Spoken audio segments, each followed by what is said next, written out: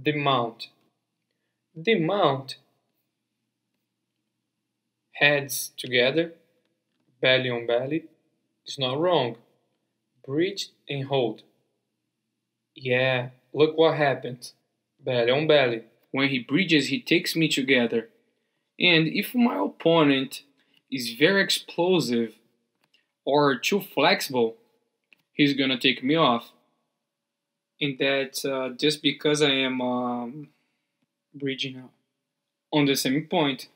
Imagine if he was very flexible. I'd be with him up there to take me off. He's easy. When I am with my weight over the head, he lost his strength. He can't even move, bridge.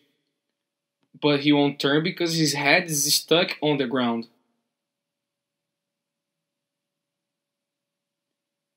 And here control.